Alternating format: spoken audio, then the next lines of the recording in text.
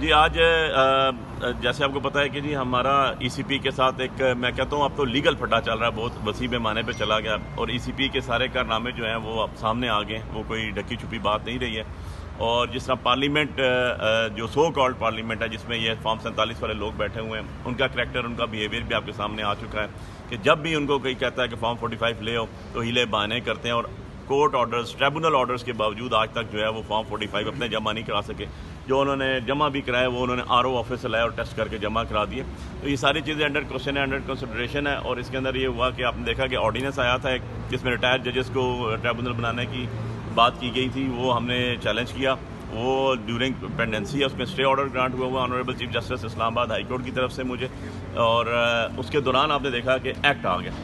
تو آج میں نے جو ہے اس ایکٹ جو ہے ٹوئنٹی ٹوئنٹی فور کا جو الیکشن امینڈمنٹ ایکٹ آیا میں نے اس کو بھی آج چیلنج کیا اس کا الٹرا وائرس کو بھی چیلنج کیا ساتھ section one fifty one of جو الیکشن ایکٹ ٹوئنٹی سیونٹین ہے اس کی وائرس بھی چیلنج کیا آج میں نے دائر کر دی ہے اچھا علی بخاری فورٹی فائیو انہوں نے جمع کروائے ہیں۔ کیا وہ فارم اور آپ کے فارم سیم ہے بالکل بھی نہیں ہے جی۔ ہم نے تو دیر فرسٹ سے یہی کہا تھا نہ form forty five forty six forty seven اپنے جو جو ریٹرن کینڈیڈیٹ جس کو ای سی پی نے کہا ہوا ہے، اس نے جمع ہی اپنے نہیں کرائے۔ اس نے کہا، میں آر او سے لے کے آؤں، ڈسٹ کاپی آر او والی جمع کرا دی، اس کے اللہ پلے ہے ہی کچھ نہیں۔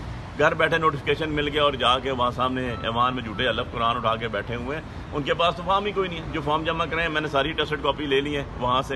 اسلام آباد ہائی کورٹ کے ٹریبونل کے حکم کے مطابق ساری کی ساری ہم نے ٹیلی کی ہیں۔ اور جو آر او نے جمع کرائی ہیں، جو ای سی پی نے جمع کرائی ہیں، وہی جو ای سی پی نے اپلوڈ کی، وہی آر او کی نکال کے انہوں نے ٹیسٹڈ کاپیاں جمع کرا دی۔ ان کو تو اوریجنل جمع کرایا انہوں نے کہا ہوا تھا فارم فورٹی فائیو جو آج تک جمع نہیں کرائے کورٹ آرڈر نہیں کمپلائنس نہیں کر سکے، نہ فارم فورٹی فائیو نہ فورٹی سکس نہ فورٹی سیون اور ضروری بات ای ایم ایس سسٹم نہ ای سی پی نے جمع کرایا نہ آر او نے جمع کرایا۔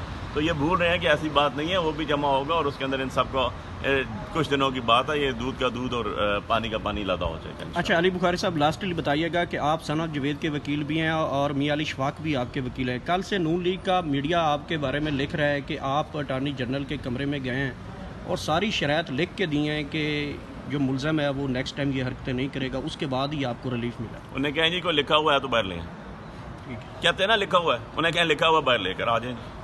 اور جھوٹ کے پاؤں نہیں ہوتے نہ ہاتھ ہوتے ہیں نہ منہ ہوتا ہے نہ سر ہوتا ہے۔ جھوٹ کے بارے میں ایک ہی چیز ہوتی ہے کہ جھوٹ۔ تو یہ تو جھوٹ کی پیداوار ہے۔ میں نے کہا یار جو جھوٹے الف جھوٹے قرآن اٹھا سکتے ہیں ان سے آپ کیا چیز بعید ہے؟ وہ اللہ رسول کے نام جھوٹے اٹھا لیتے ہیں ان کے بارے میں کیا ہے؟ ان کو تو اب میں اس سے آگے بات نہیں کرتا ہوں۔ ان کو تو کچھ اور بھی کہہ دیں تو وہ جھوٹے وہ بھی کر لیں گے لیکن انہیں کہیں لے آئیں۔ جی آپ کو اگر آپ کا ریٹرن ہے کوئی اٹھا کے لے آئیں۔ بہت شکریہ۔ Thank you